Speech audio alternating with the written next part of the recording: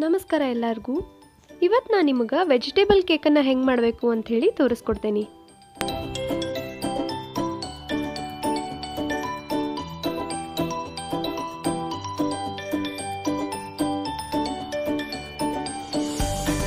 ಒಂದು ಕಪ್ಪು ಕಡ್ಲಿ ಹಿಟ್ಟು, ಅರ್ಧ ಕಪ್ಪು ಬಾಂಬೆ ರವ, ಒಂದು ಟೀ ಸ್ಪೂನು ಖಾರದ ಪುಡಿ, ಒಂದು ಟೀ ಸ್ಪೂನು ಉಪ್ಪು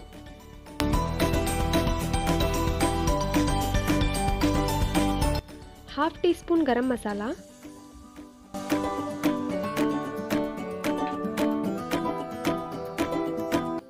half teaspoon baking powder one fourth spoon baking soda ಸ್ವಲ್ಪ ಮೊಸರು ಹಾಕ್ಕೊಂಡು ಚೆಂದಾಗಿ ಮಿಕ್ಸ್ ಮಾಡ್ಕೊಂಡಾದ್ಮೇಲೆ ತ್ರೀ ಫೋರ್ತ್ ಕಪ್ ನೀರನ್ನು ಗ್ರ್ಯಾಜುವಲಿ ಹಾಕ್ಕೊಂಡು ಮಿಕ್ಸ್ ಮಾಡ್ಕೋತಾ ಹೋಗಬೇಕು.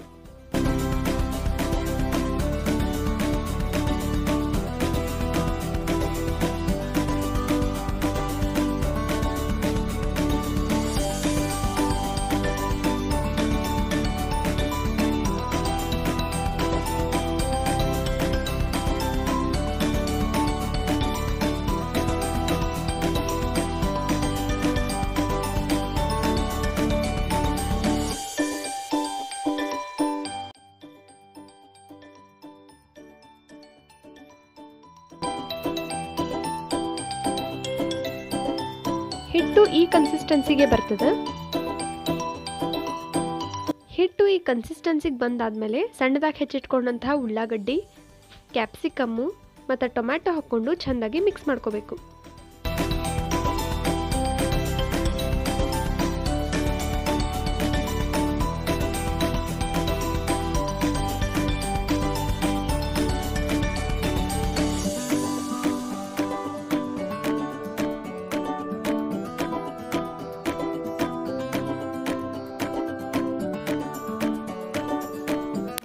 ಗ್ರೀಸ್ ಮಾಡಿಟ್ಕೊಂಡಂಥ ಮೌಲ್ಡಿಗೆ ಈಗ ನಾವು ರೆಡಿ ಮಾಡ್ಕೊಂಡಂಥ ಹಿಟ್ಟನ್ನು ಹಾಕ್ಕೋಬೇಕು.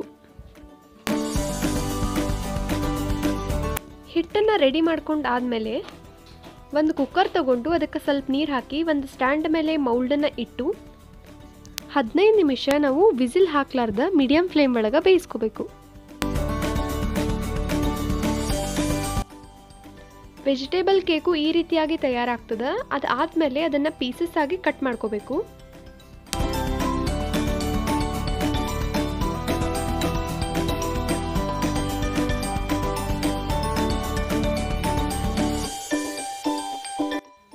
ಅದಾದಮೇಲೆ ಒಂದು ಪ್ಯಾನ್ ತೊಗೊಂಡು ಅದಕ್ಕೆ ಎರಡರಿಂದ ಮೂರು ಸ್ಪೂನ್ ಎಣ್ಣೆ ಹಾಕ್ಕೊಂಡು ನಾವು ಈ ರೀತಿಯಾಗಿ ಶಾಲೋ ಫ್ರೈ ಮಾಡ್ಕೋಬೇಕು.